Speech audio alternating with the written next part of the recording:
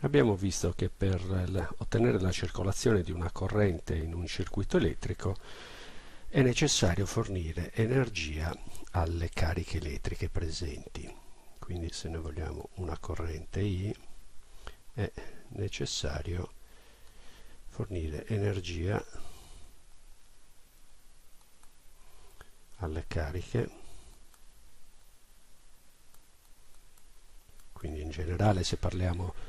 eh, di una corrente in un, in un, conduttore, in un solido, si tratterà di elettroni e energia alle cariche sotto forma di energia potenziale significa tensione V. E per ottenere questo sappiamo che è necessario l'uso di un generatore.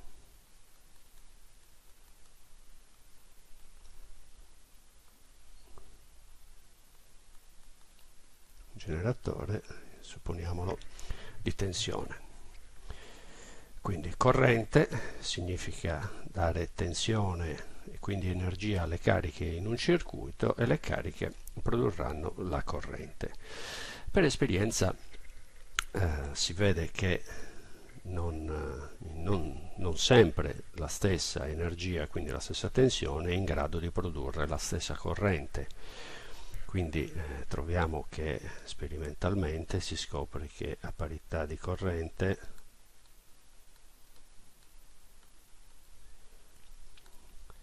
ad esempio noi abbiamo che consideriamo il caso di materiale di tipo metallico e materiale invece di tipo isolante quindi isolanti da questo scopriamo facilmente che per i metalli è necessaria a parità di corrente in generale una bassa energia paragonata a quella che serve per gli isolanti. Quindi bassa energia o alta energia significa che a parità di corrente una bassa tensione è in grado di produrre correnti nei metalli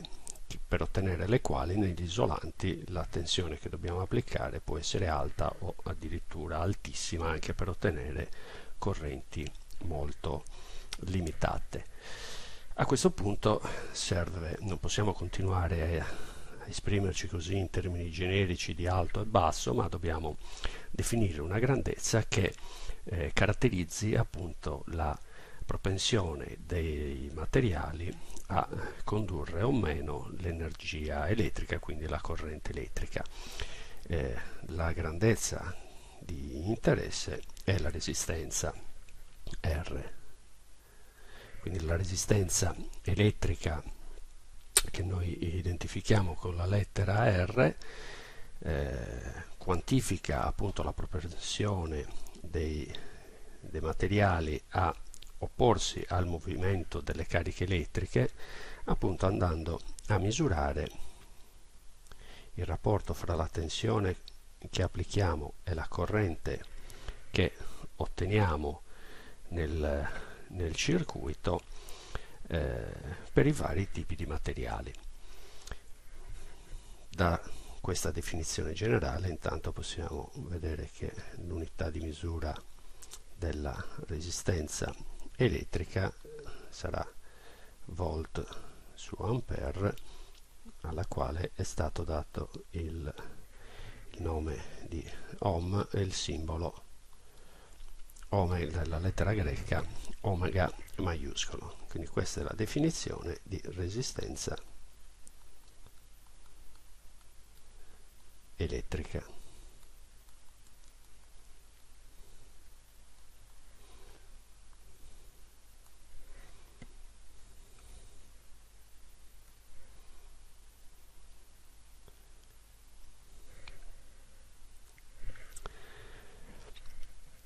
Quindi riallacciandoci al discorso generale qualitativo fatto precedentemente avremo che in generale, in generale i metalli presenteranno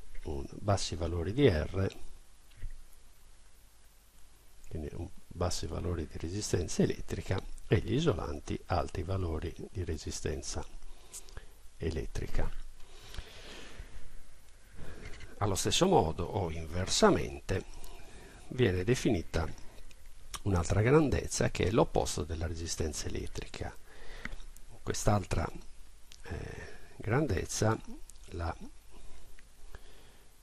indichiamo con la lettera G, l'inverso espressa come l'inverso della resistenza e quindi indica la propensione del materiale a farsi attraversare dalla corrente elettrica. L'unità di misura di G risulta ovviamente ampere su volt, quindi l'inverso di ohm, al quale si dà il simbolo S maiuscolo e il nome Siemens. Questa grandezza prende il nome di conduttanza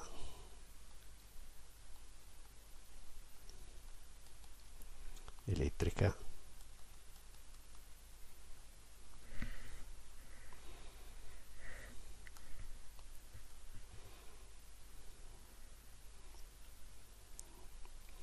E vedremo che sarà comodo averla definita e utilizzarla in particolari configurazioni circuitali.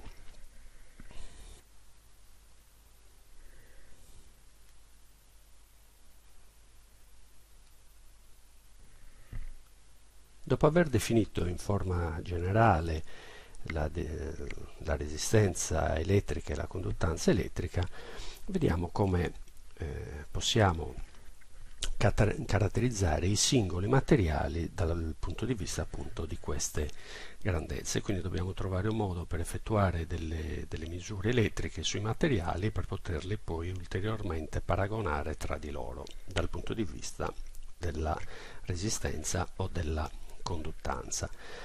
Eh, utilizziamo un, un, modello circuitale che ci consente di, di capire il tipo di esperimento che eh, possiamo effettuare. Consideriamo un, un tratto di conduttore cilindrico del materiale eh, di nostro interesse e chiudiamolo in un circuito in cui andiamo a porre un generatore di tensione V che eh, appunto stabilisce quella tensione, quindi fornisce quell'energia alle cariche elettriche presenti nel circuito stesso e in particolare nel campione di materiale che stiamo analizzando. Il nostro materiale si è caratterizzato di forma cilindrica, abbiamo detto si è caratterizzato da una certa sezione S che esprimiamo in millimetri quadri nei casi pratici.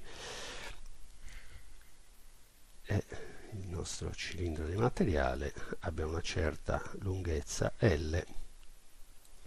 ovviamente misurata in metri. Eh, sperimentalmente abbiamo detto che in queste condizioni nel circuito circolerà una corrente I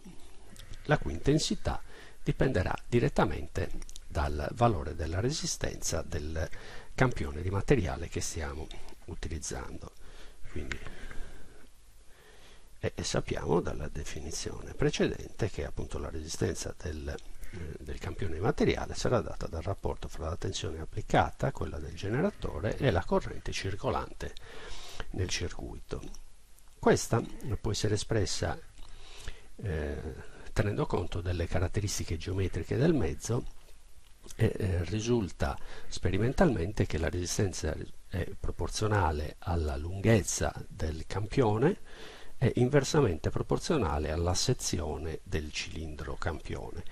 Quindi aumentando la lunghezza del materiale aumenterà la resistenza dello stesso, se eh, invece aumentiamo la sezione la resistenza eh, diminuirà in proporzione inversa. Questa relazione proporzionalità e di, e di eh, proporzionalità inversa sono legate da un coefficiente di proporzionalità che eh, viene indicato con la lettera greca ρ, quindi potremo esprimere la nostra resistenza come eh, data dal prodotto di ρ, la costante di proporzionalità di cui stiamo parlando per la lunghezza del campione diviso la sezione dello stesso, dove ρ prende il nome di resistività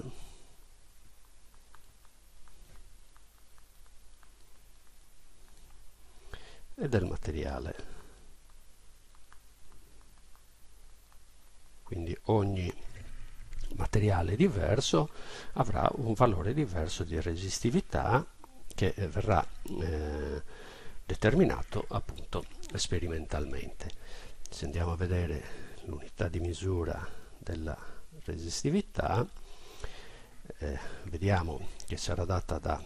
ohm per eh, l'unità di misura della sezione che abbiamo detto nei casi pratici la definiamo in millimetri quadri diviso la unità di misura della lunghezza quindi metri. Quindi la resistività sarà espressa in ohm per millimetro quadro su metro.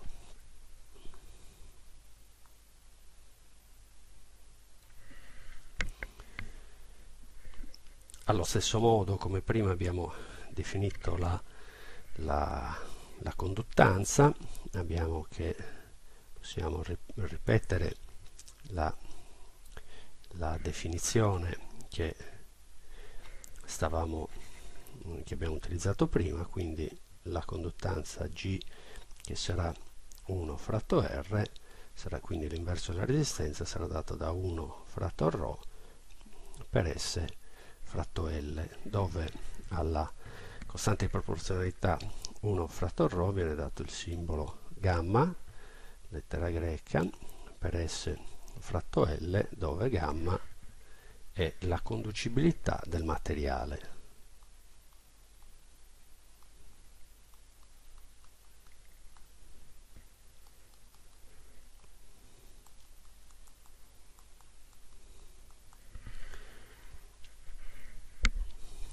ovviamente in questo caso l'unità di misura di gamma sarà uguale ohm alla meno 1 quindi Siemens per metro diviso millimetri quadri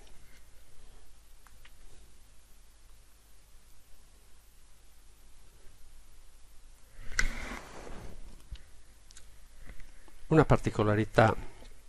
eh, sperimentale che viene messa in evidenza è che purtroppo, purtroppo perché poi dal punto di vista dell'utilizzo pratico di queste grandezze è una complicazione eh, che eh, si presenterà di volta in volta negli studi, è che la, eh, la resistività del materiale non è una costante, ma dipende dalla temperatura quindi dipende dalla temperatura del materiale.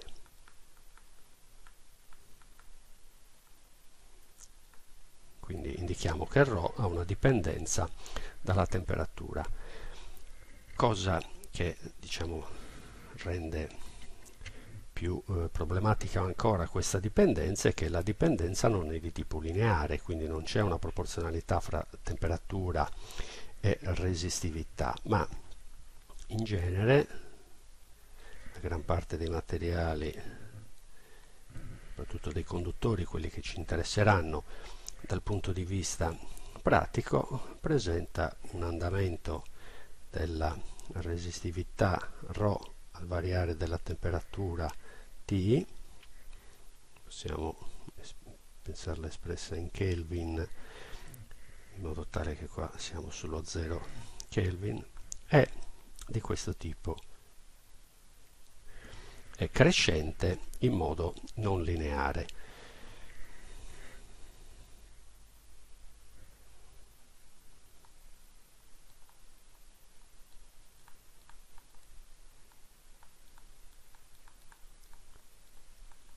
non tutti i materiali presentano una resistività crescente con la temperatura, ma ci sono anche materiali che presentano una resistività decrescente. Nei casi pratici questa non linearità viene linearizzata per eh, renderla eh, più facilmente gestibile. Come si procede alla linearizzazione? Si considera un tratto non particolarmente esteso della, della curva, eh, cioè per variazioni di temperatura non troppo ampie e questo tratto di, di curva viene linearizzato appunto come se si trattasse di un tratto eh, inclinato, di un segmento inclinato. In questi casi la resistività, appunto semplif semplificando il suo comportamento con la temperatura come se fosse lineare, risulta essere proporzionale con la variazione di temperatura. Si procede a determinare il valore della resistività per una, per una particolare temperatura di riferimento che può essere ad esempio 0 gradi o più spesso 20 gradi, si determina la resistività alla quale viene dato un, un simbolo, ad esempio ρ20 significa resistività. A 20 gradi centigradi, centigradi. A questo punto la resistività ρ a un'altra temperatura T, detto non, non troppo eh, discosta dalla temperatura di riferimento, la resistività ρ alla temperatura T sarà proporzionale a quella a 20 gradi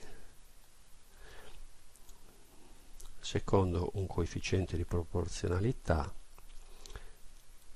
alfa 20 che appunto è il coefficiente di proporzionalità